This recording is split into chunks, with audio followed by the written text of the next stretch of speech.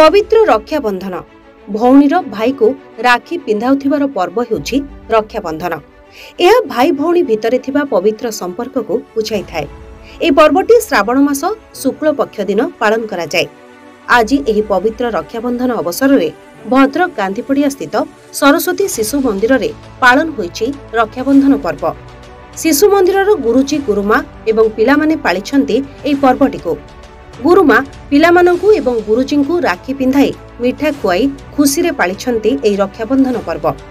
ରାକ୍ଷୀ ବାନ୍ଧିବା ସହିତ ଦେଶର ପଚସ୍ତରୀତମ ସ୍ୱାଧୀନତା ଦିବସ ପୂର୍ତ୍ତି ଅବସରରେ ଆଜାଦୀ କା ଅମୃତ ମହୋତ୍ସବ ପାଳନ କରାଯାଇଥିଲା। ଏହି କାର୍ଯ୍ୟକ୍ରମରେ ସ୍କୁଲର ଗୁରୁଜୀ ଗୁରୁମା ଏବଂ ପିଲାମାନେ ମଧ୍ୟ ଉପସ୍ଥିତ ରହିଥିଲେ। ଭଦ୍ରକରୁ Sitakanta Panik report news on Odia dot in.